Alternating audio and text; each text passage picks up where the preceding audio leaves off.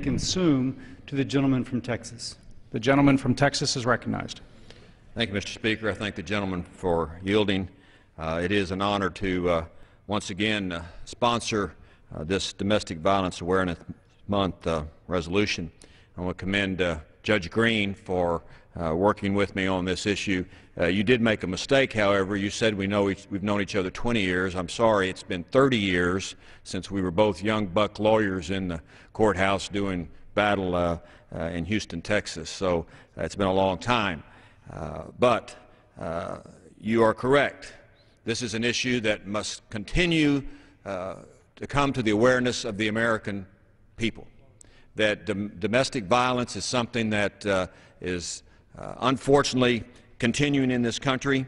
35 percent of the murder victims uh, that were killed in 2008 were killed at the hands of of people they knew, intimate partners, 35 percent of them murdered by people that were close to them. In 2007, crimes by intimate partners counted for 23 percent of all crimes against women. In a single day in 2009, 65,000 victims were treated by domestic violence programs, but due to lack of resources and funding, uh, many of those, uh, almost 10,000, were turned away because there was no resources to take care of them. Uh, we have uh, a growing need and presence of domestic violence shelters throughout the country, and they have fewer and fewer resources to take care of these women who seek refuge from someone that they knew who has been trying to assault them or has succeeded in assaulting them. Uh, Congress must, uh, of course, uh, pass the reauthorization of the Family Violence Prevention and Services Act. Uh, victim service providers are on the front lines of defense against domestic violence, and this funding is vital to the treatment and reduction of domestic violence. Uh, I spent all my legal career before coming here uh, as a prosecutor and then a criminal court judge, so I was always in the courthouse doing criminal cases, and I saw the result uh, of what happens when people who live in the family situation commit crimes against other family members. And it's something that has to cease in this country, and it's also something that we as a community need to be aware of. Unfortunately, many times uh, courts don't take these cases seriously. Um, one of my favorite people is uh, Yvette Cade from Baltimore, Maryland. Uh, Yvette Cade it was a real person, still is a real person. And all these cases are about real people, Mr. Speaker.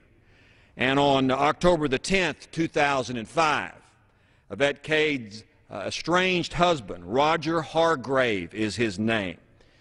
He, uh, uh, he and his wife were not getting along, so he sought her out. He went to the business where she worked, a video store, walked inside. He had a bottle full of gasoline. He came up to her and he poured that gasoline over her head and he set her on fire.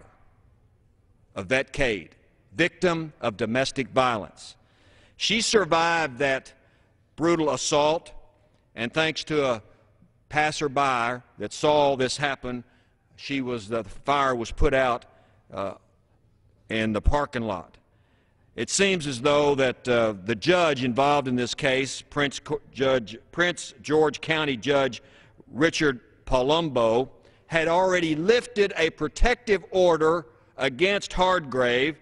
If he had not lifted that protective order to keep him away from his estranged wife, she may not have had this brutal assault committed against her. Now, Hargrave is serving life in prison for the assault, setting his wife on fire, but Miss Yvette Cade has 60 percent third-degree uh, burns over her body. She's had 19 surgeries. She survived this brutal attack. She is a remarkable woman. She has the spirit that I, surprises me. She has the spirit that she does. But she is just one of thousands of people, Mr. Speaker, that are assaulted in the family. And it continues. And we in this society must make sure that it is socially unacceptable to hurt somebody in the family.